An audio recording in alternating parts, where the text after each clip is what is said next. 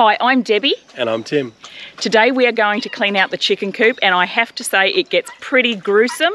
There is a lot of chicken poo involved, so if you are squeamish, turn off now.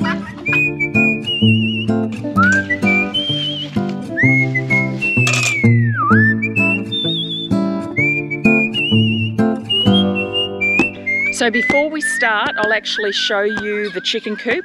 Um, so we haven't done the mats or anything this morning, so we'll go through the whole process of what we do. We don't do this every single day. Um, we try to clean the chicken mats every day, but to be honest, we don't get around to it every single day, every single week. Um, so we might do it every day, three days a week, and then every couple of days for the rest of the week, depending on how busy we are. But I'll show you a dirty chicken coop to start with, and then you can see the before and after. So this is the main coop. We've got two coops. We've got this one, which is our main egg laying coop. And then we have this small one, um, which is where we have our breeding bantam chickens. So in here, you can see that we've got the nesting boxes and there's a heap of eggs in there you can see that the nesting boxes are a little bit grubby, so we'll clean those up. And the roof is a little bit dusty. And then in here, somebody's missed the nesting box. We will clean up in here. And the reason we want to clean up in that little back area is that is the nursery for the baby keets. So when the guinea fowl start to lay their eggs and the chickens come and brood on them and we hatch out a heap of guinea fowl, they stay in that area. Now the guinea fowl haven't laid eggs for a long time, but I know they're starting to get um, broody um, and they will lay the eggs really soon. They won't sit on them because guinea fowl are terrible mothers, but the chickens will sit on them. So we'll clean that up so that it's nice and clean and fresh um, for when the guineas start laying eggs. So over here, you can see that we have the stands that the chickens roost on at night. And you can see this is a couple of days of chicken poo. Gross. It doesn't smell too bad. So we'll show you how we take the mats out and clean them and dry them and bring them back in. And the other thing that we need to do is the nesting hay in the boxes is getting pretty low. Um, we had an egg break yesterday because there wasn't enough nesting material. So I'm going to show you the really cool thing that we do to supply our own nesting box hay. Or it's not really hay, but we'll show you. So you can see here, these are really low. So we'll top those up. And we will also top up the feeder, which will run out in the next day or so. And we will clean up the water and we will also put some things on the ground that we will explain to you about and why we do it. But first, Tim is going to bring in um, some of the materials that we use.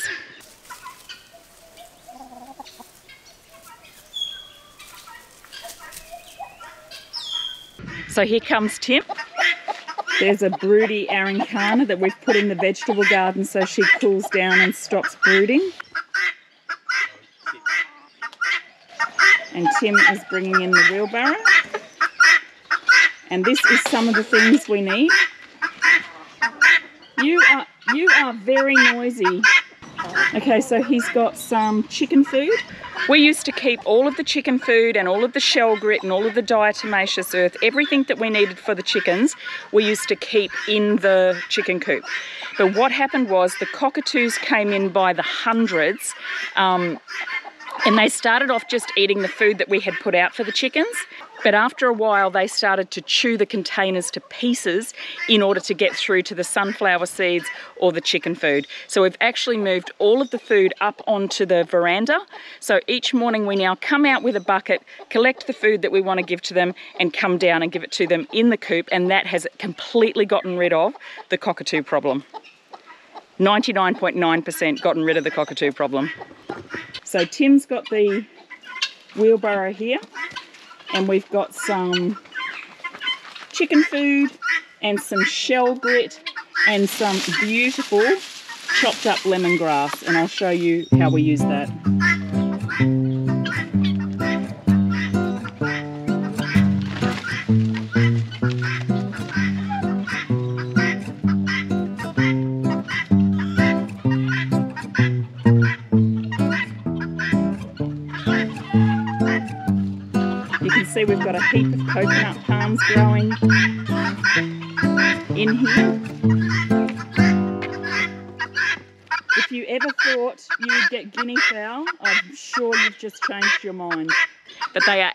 Absolutely fantastic. They are cute, they are hilarious, they get rid of snakes, they tell you if there's a dog around or a postman or a delivery guy. Unbelievable, really, really cool animals or birds.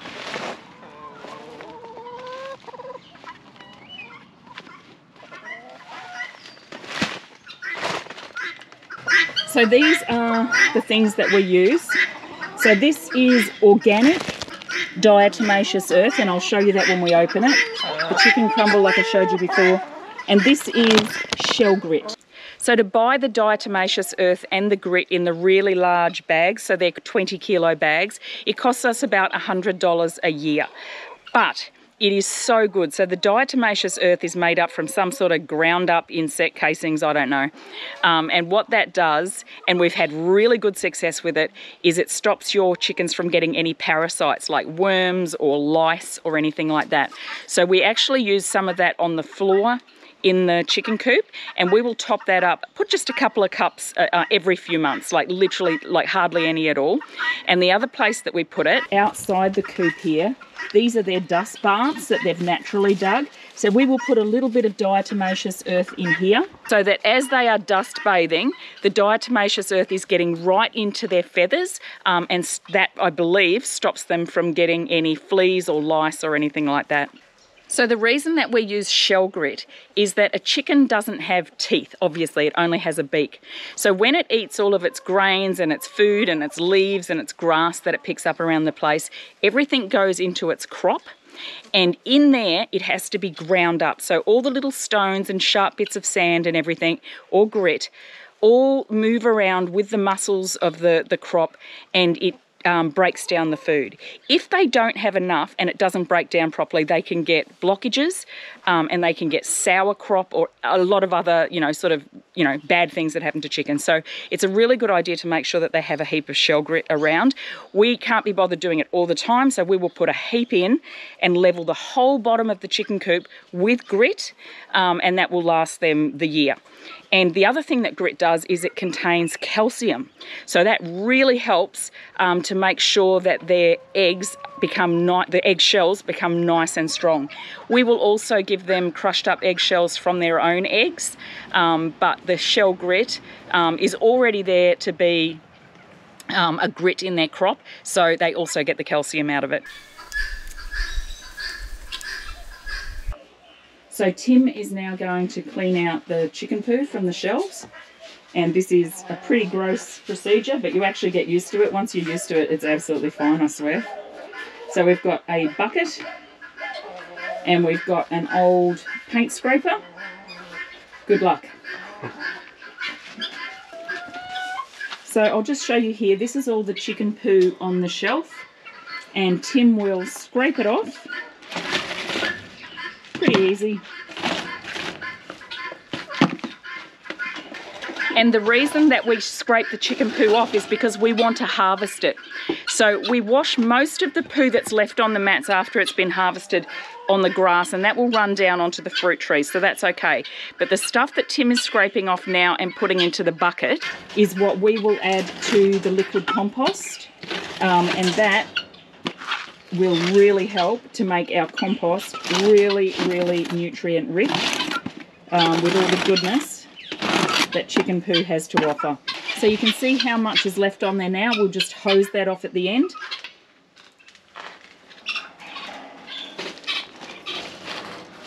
And you can see how much we've got in the bucket there. And that will go into the liquid compost in the shed. And that's just from two mats so far. So that will go into the IBC container with all the liquid compost.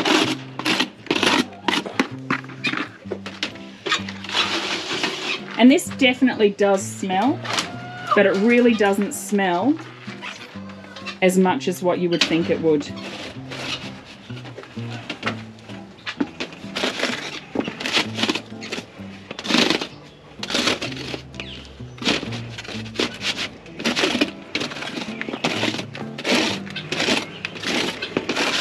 Never thought we'd be making a video about chicken poo, but it's got to be done.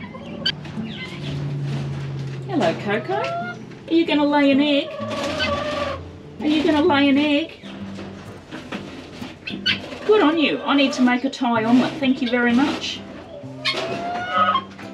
So you can see there's some bigger and smaller eggs there depending on who's laid them. And there's some in there.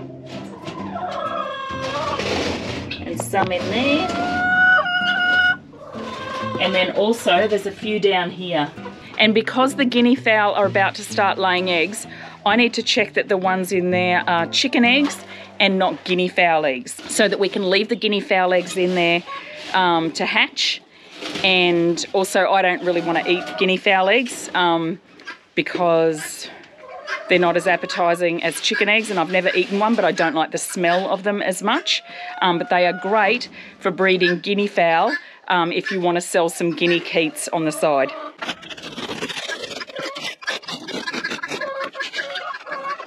And you can see he's putting the mats front to front um, so that we don't get any chicken poo on the backs and that just makes it easier to keep clean. Now you'll notice there's a few white feathers around here. So on the ground and around the, the wire you can see there's some white feathers. And I'll show you why. This is Mango and you can see how dishevelled Mango looks and that is because she is molting. So she is losing a whole lot of feathers, which happens to all the chickens, um, and then they get a nice fresh new coat. So it can happen at any time of year. Um, you always think, oh, what's happening? And then you realise that they're molting.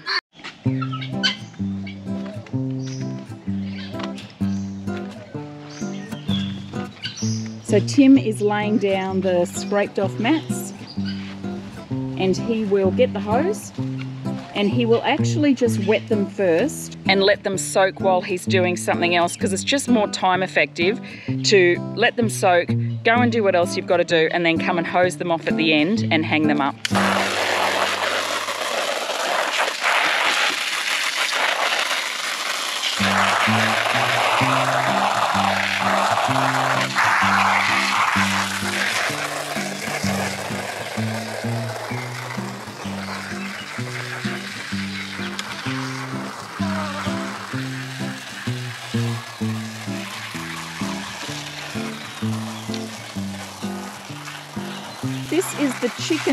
Roosting wood, not your sticks. Lexi, this is for the chickens. Lexi says, sorry, not sorry. So this is a whole bunch of old branches and tree trunks that Tim has just piled up. And especially when it's wet or when it's sunny, the chickens all jump up on here to get off of the ground and to get a heap of sun and it looks really cute when they're up there. And in the meantime, they'll dig under here and get out all the bugs. Won't you, Pepper? Yes?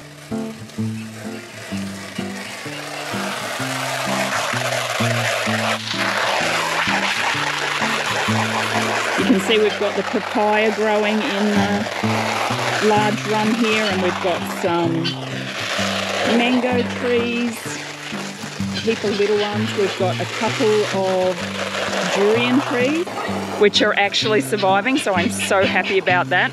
And we've got some coconuts, which are getting nice and big.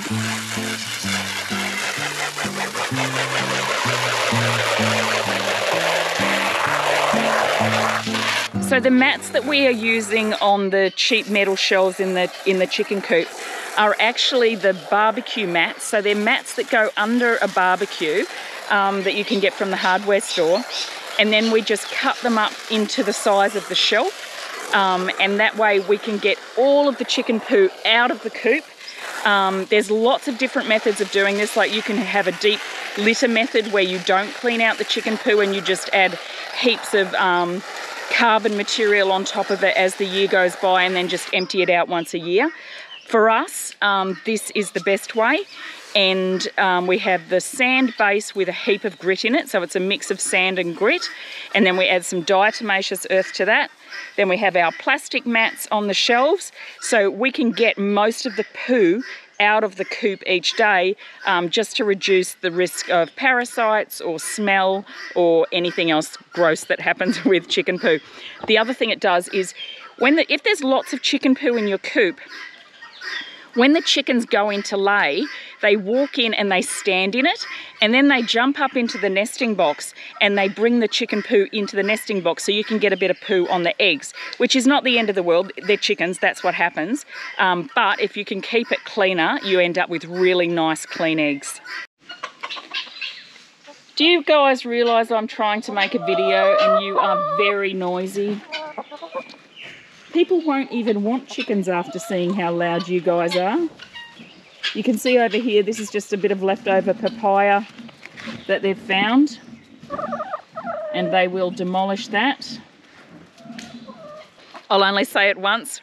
The reason we have super eggs is papaya and sweet potato leaves and banana leaves and all the good stuff that we grow on this property that the chickens just love to eat. What's your problem? Hey? What's your problem? Okay guys, we need to be on our best behaviour so that people don't get scared of chickens. Hello molting mango. You look terrible.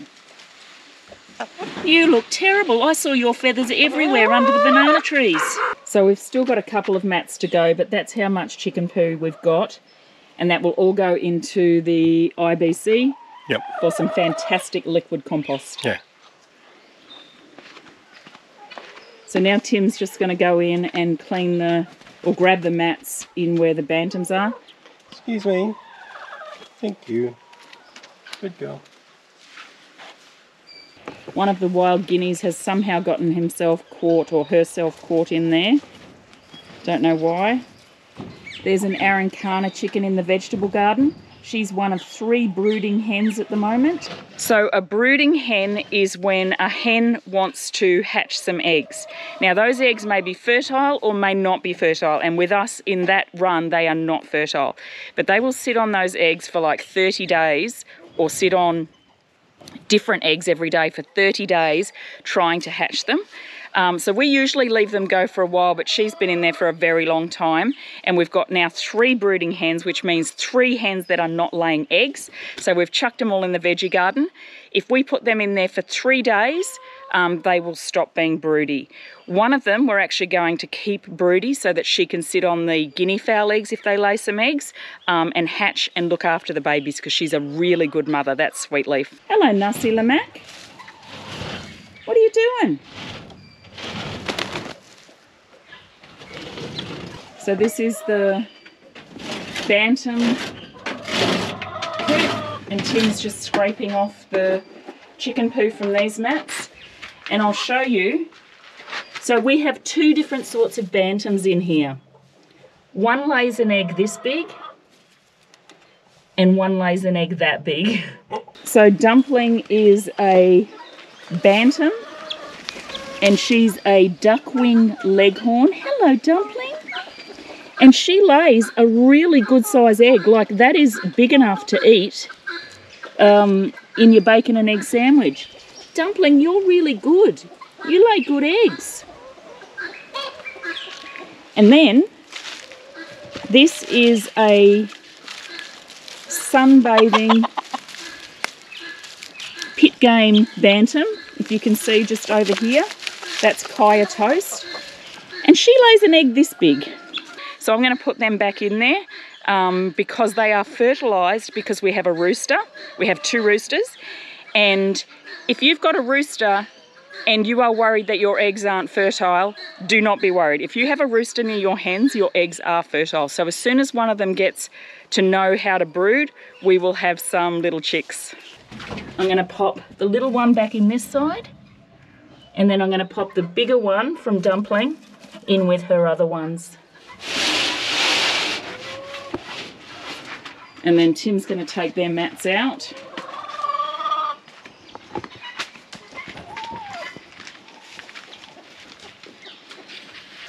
Ye old bucket of goodness. Or ye old bucket of grossness, whichever way you want to put it.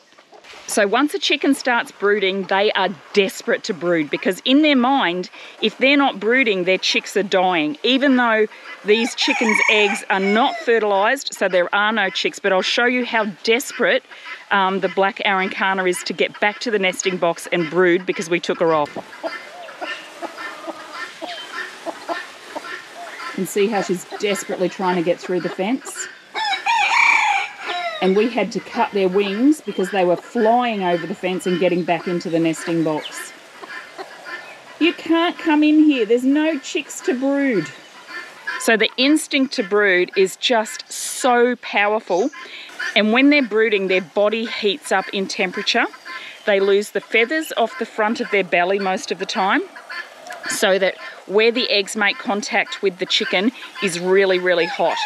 So that's why it takes three days to stop um, the chickens from brooding because you actually have to allow their body temperature, which is what makes them want to brood. Um, you have to get that to really drop so that they don't have the urge to sit on the eggs anymore. Are you king of the world? No? Look at you, you're very impressive. Let's go and say hello to Rotty the rooster. He's so beautiful. Hello, Rotty. Hello, Rotty. What you doing? You having a nice day?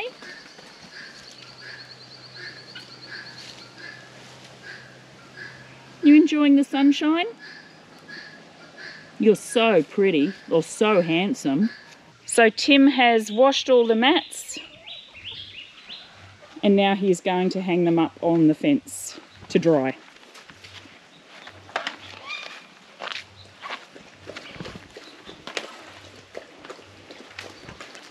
So we actually used to hang them over the fence with the chicken poo on them and hose them over here. But the smell was too bad because all the chicken poo would just end up on the ground. And this way it's sort of further down on the grass and it's going to wash down into the fruit trees. And then there's also a lot less chicken poo because we are harvesting it for the liquid compost.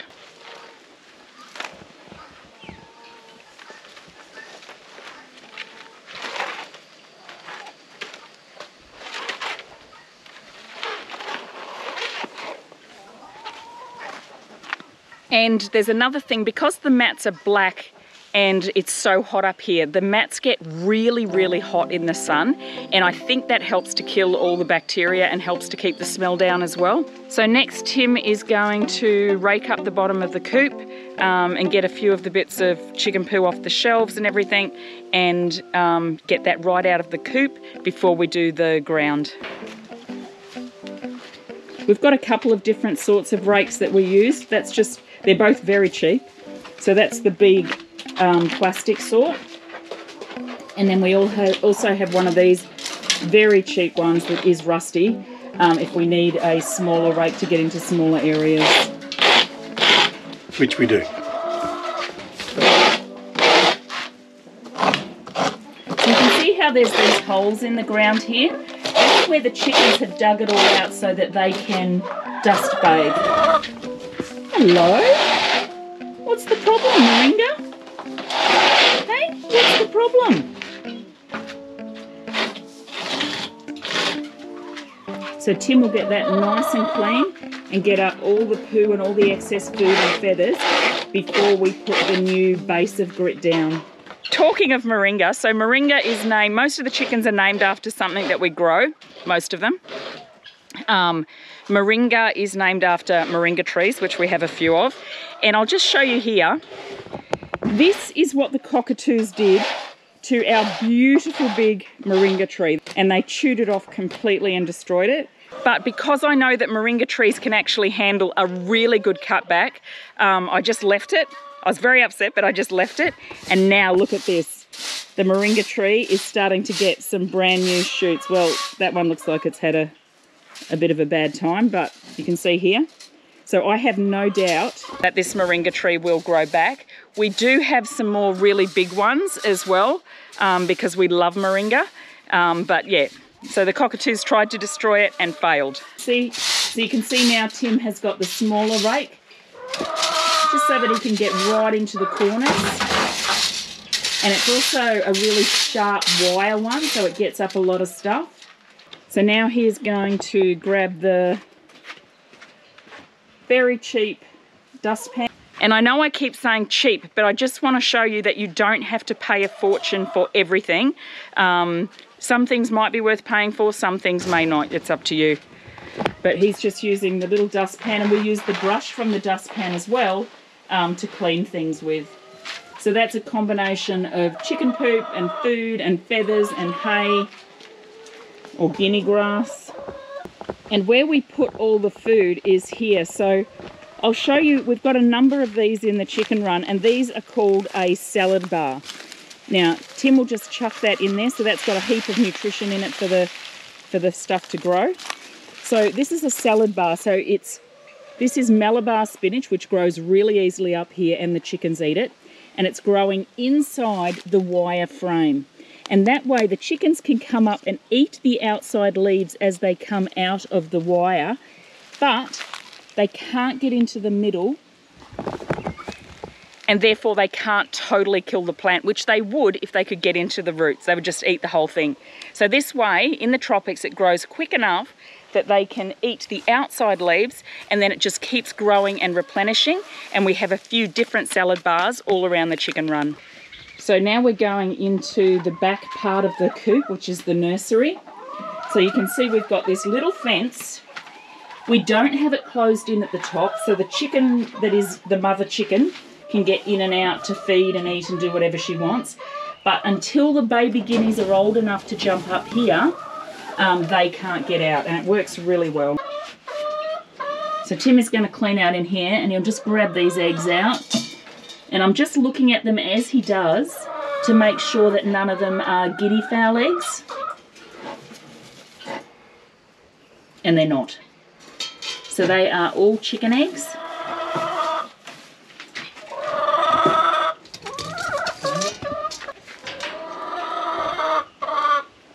And then as we're cleaning, any eggs we get, we'll just pop in the basket and take it into the kitchen as we leave. And there's one more egg, a green one.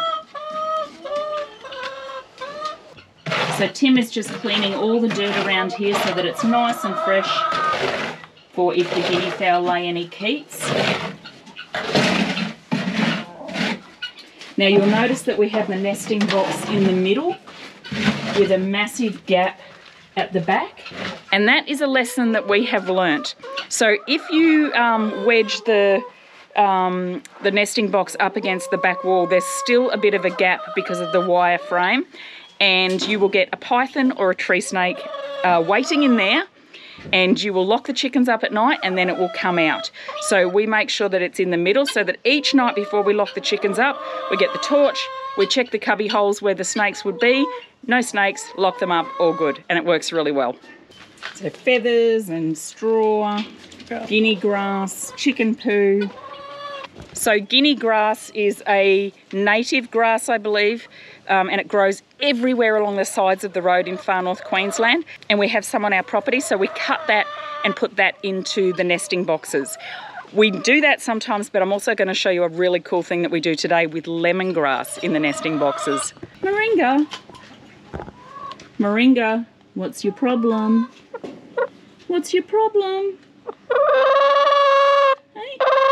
So I'll just show you what we've got here. These are bowls, so clean bowls that are hanging on the fence. We've got some scissors so that we can cut up banana leaves or uh, sweet potato leaves or whatever. We can cut some soursop leaves from this tree which the chickens love to eat. Do you mean starfruit? Yes, I do. So this is a huge starfruit tree, and the chickens eat the starfruit leaves, and the starfruit drop on the ground, and they love to eat them. And then over here we've got the cleaning stuff. So we've got the paint scraper, which we use to take the poo off the shelves. We've got the dustpan, which we use for everything.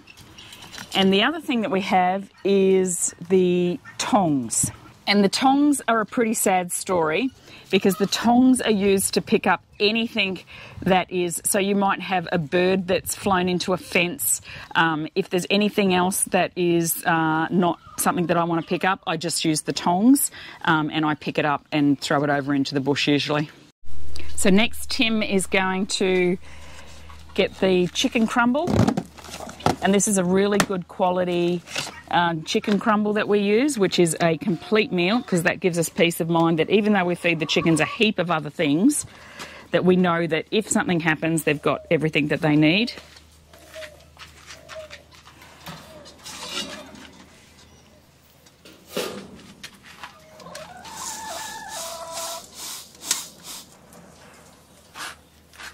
And if you can't lift your chicken bucket, which I can't, I just use a scoop to do this.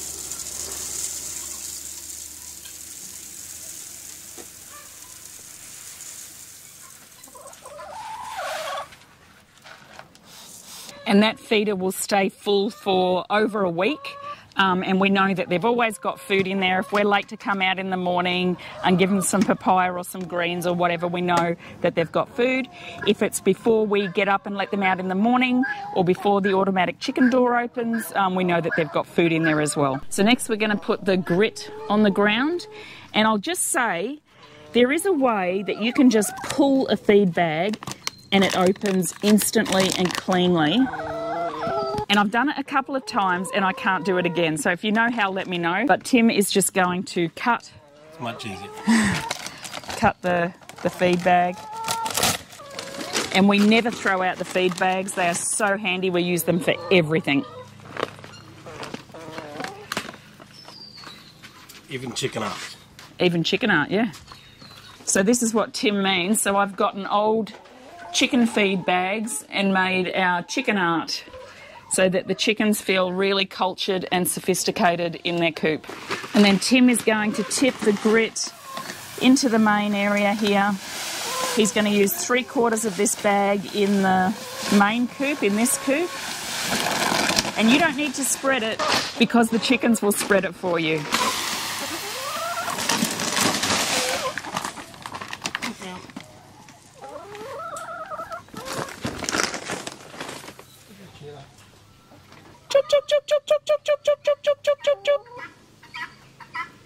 Who wants some grit?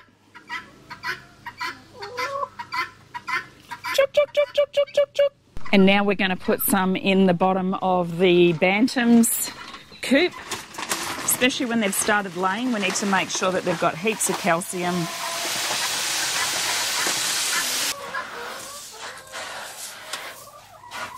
What's your problem, roosters? What are they doing, Lexi? Are they talking to you?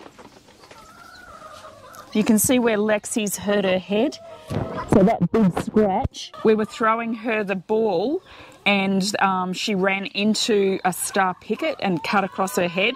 It wasn't as bad as what it looks because it's just the hair that's gone. It didn't actually go into her skin, um, but she's not happy and I think she's got a bit of a headache and she's feeling very sorry for herself. So, the other good thing about using grit as a base for your chicken coop is that when it gets wet, it doesn't.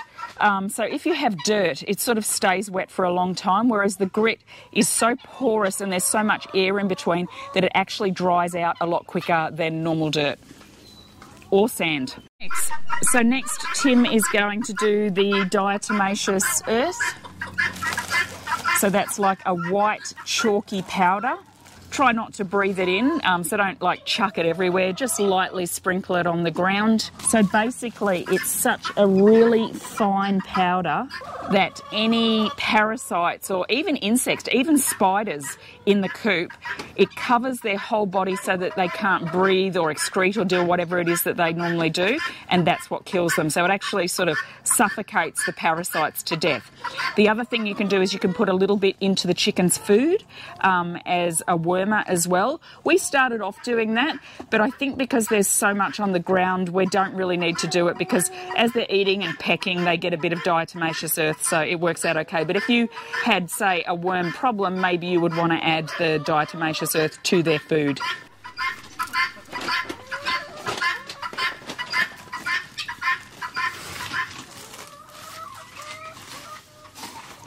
The other thing that the diatomaceous earth does is when the chickens poo on the ground, it coats it and makes it really, really easy to rake up.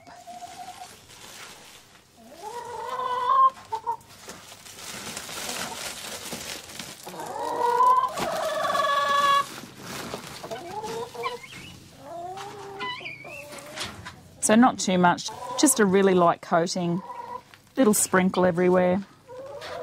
So it looks a little bit messy at the moment, but the chickens will turn that in real quick. So now Tim is going to go and put some into the Bantam's cage. Are you guys checking out the grit? Pretty fancy, hey? Pretty fancy grit.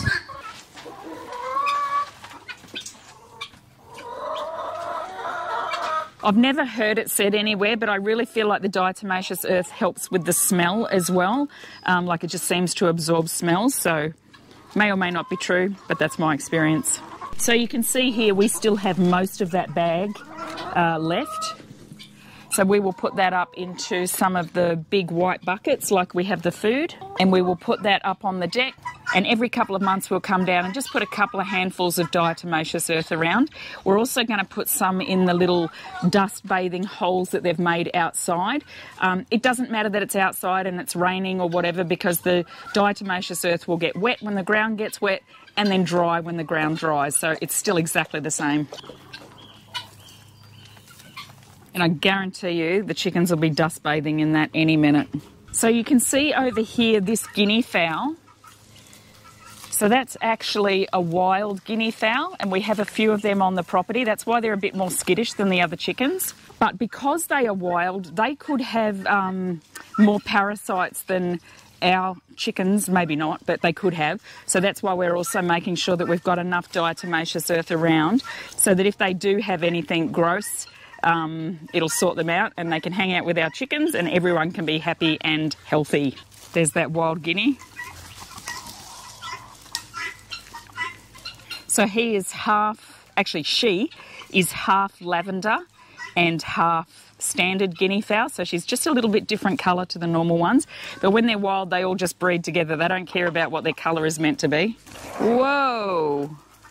See ya.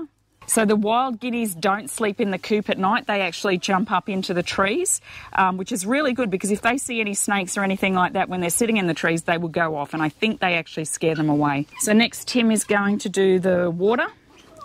So these are just the cheap buckets from the hardware shop. And any old water we tip onto our salad bars or our coconut palms, especially in the dry season. In the wet season, don't worry about it. So the water buckets do get very dirty. They get cane toads in them and they get mosquito larvae in them. So it is really important to clean them out quite often. Um, we would usually do it every couple of days. When we first had the chickens, I was um, overexcited and I did it every day, but just every few days is fine. So that's underneath the water bucket, there's a heap of worms, so we'll leave them there for the chickens to eat.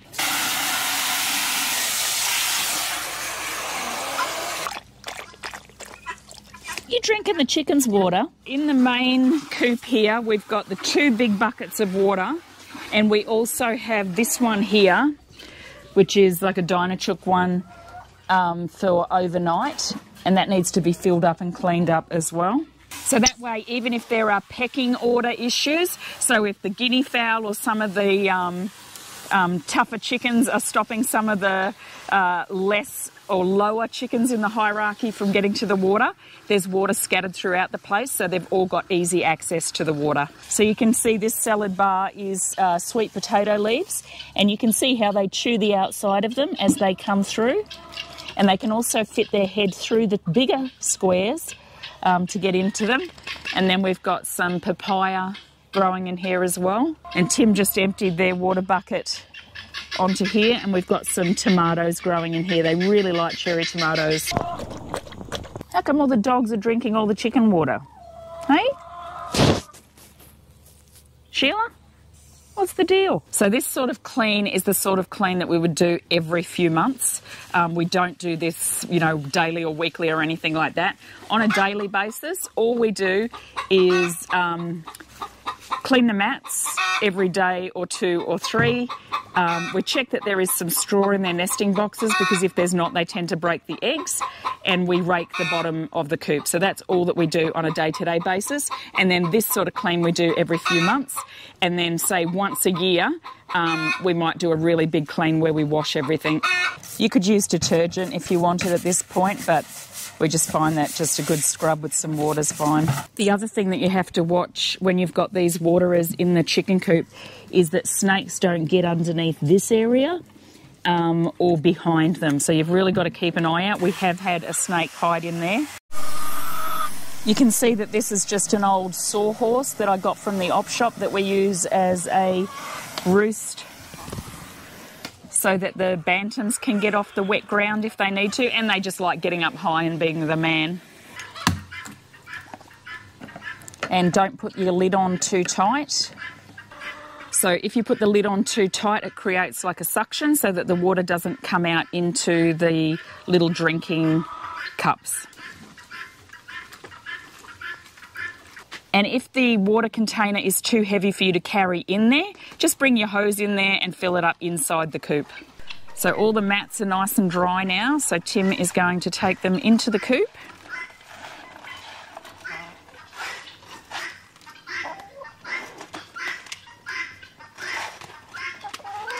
It smells so much better as well. Yeah. So much better. It's not only us that like the chicken coop when it's nice and clean, the chickens love it as well. They're so much happier.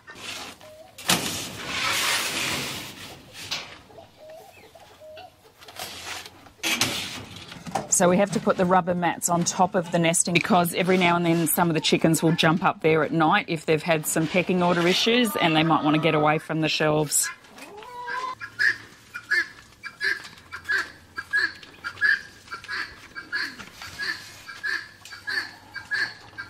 So you can see this shelf here has only got a little gap. That is not design, that is just laziness. We haven't had a chance to move it yet. So we'll move that down to a lower shelf. Um, especially once their chicks hatch and are old enough to jump up onto the shelf. So we have got more room yet. But the key to that is to go vertical. So if you've got a small coop, you can fit quite a few chickens in it as long as you go vertical and make the most of the height space.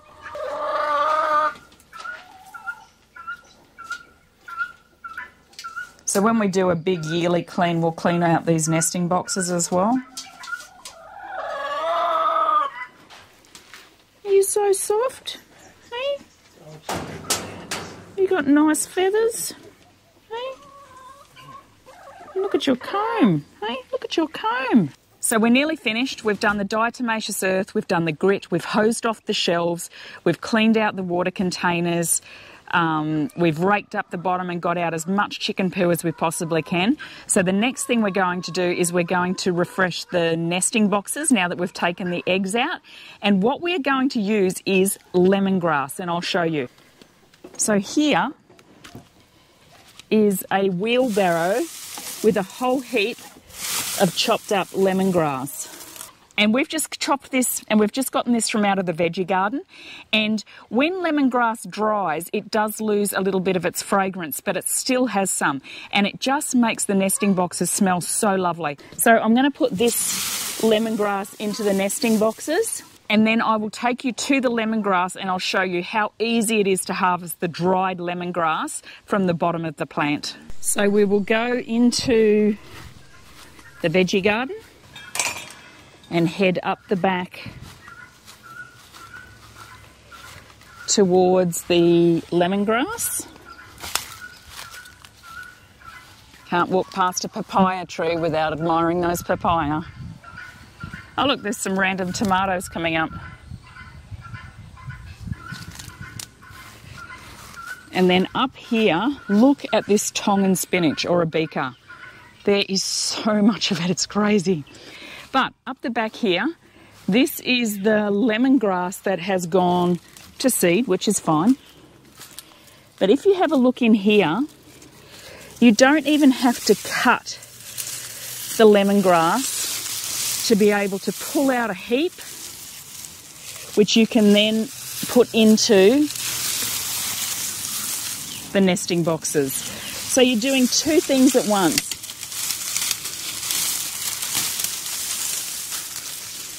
Look at that. That's enough for three or four nesting boxes. And it smells beautiful. So let's take this back over to the chicken coop and then we just chop it up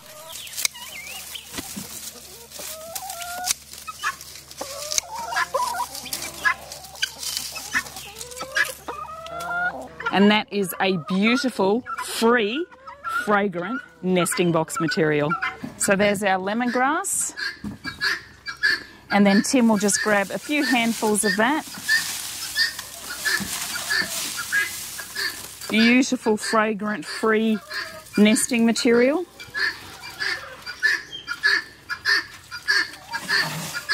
And without scaring the chickens that are laying really carefully, we just pop that into the nesting box.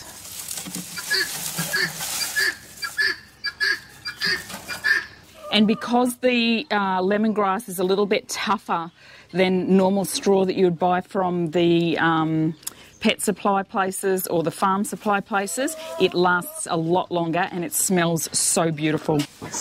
Here's the taste test. Moringa, which one do you prefer? Lemongrass or hay?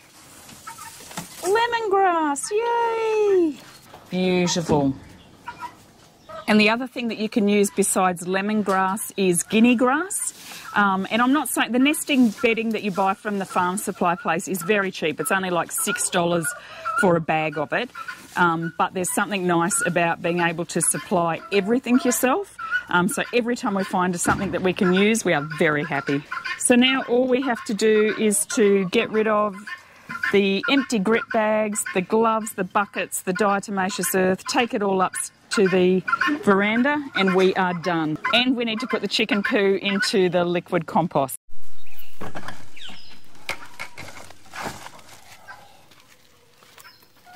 Hello, Pepper. Hello, Pepper. So that is our beautiful clean chicken coop. And it smells completely fresh and lovely of lemongrass. And all the chickens will be very happy to lay their eggs in here. And we will grab these eggs and we'll take them inside.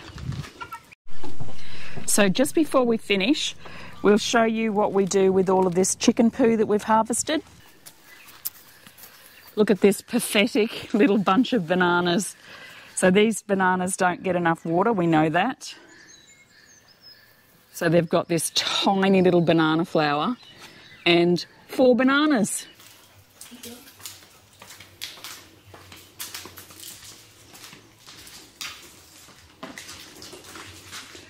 So these are our IBC containers filled with liquid compost or compost tea. There's a heap of firewood. And the reason it's not stacked neatly is the dogs knocked it down because there was something in it.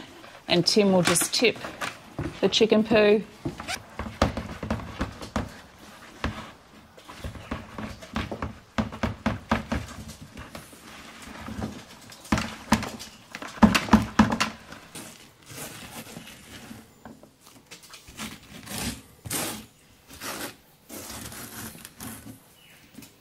and that literally becomes liquid gold when you are growing vegetables and fruit trees.